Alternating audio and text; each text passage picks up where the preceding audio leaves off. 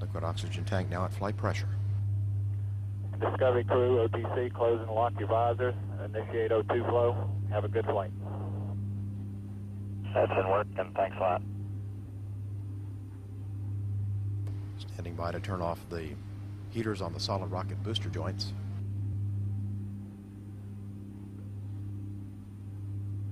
Then we'll have a final check of the booster One minute. commands. Solid rocket booster nozzles being gimbaled. T minus 18 seconds.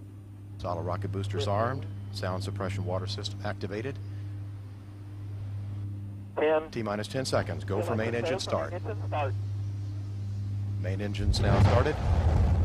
Main engine's up and running. Three, two, one, and liftoff of Space Shuttle Discovery on a mission to prepare for the next era of world cooperation in space. Hello, program Houston. Roger, roll, Discovery.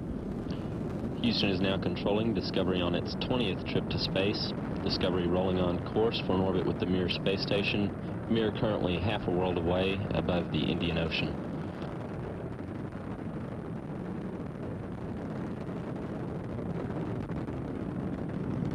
Three engines on Discovery now throttling down to two-thirds throttle. Discovery's altitude now 17 nautical miles, 15 nautical miles northeast of the Kennedy Space Center.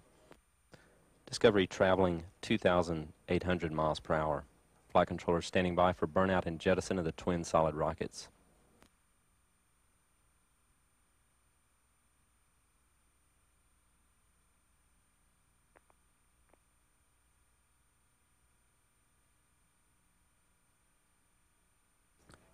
Booster officer confirms a good separation and jettison of the twin solid rockets. Discovery now in its second stage, three main engines.